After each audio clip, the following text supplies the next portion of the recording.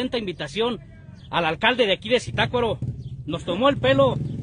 Se le hizo una invitación a las doce y media. No vino, señores. Se le volvió a tomar una invitación por la tarde y no vino, señores. Entonces, ¿de qué se trata? ¿Somos sus tontos o no? No, señores. No.